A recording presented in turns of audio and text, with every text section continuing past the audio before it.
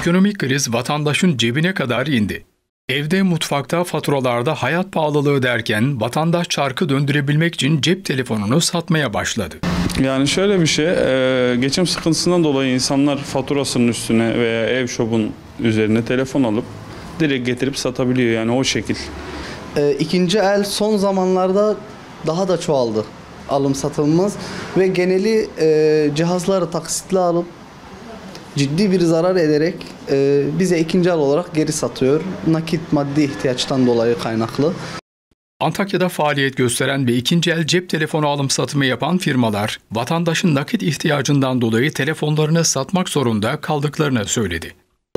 Para ihtiyacı olan adam elektronik cihazı satar. Yani başka türlü satmasının imkanı yok.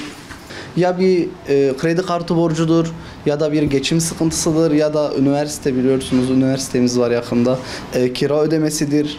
İkinci el telefon alım satımı yapan firma yetkilileri özellikle 18-30 yaş grubunda çok fazla telefon satımı olduğuna dikkat çekerken gençlerin yurt kirası için telefon sattıklarına dikkat çekti.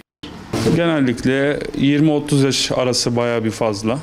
E, bu 20-30 yaş arasından yukarı doğru ama çoğunluk 20-30 yaş.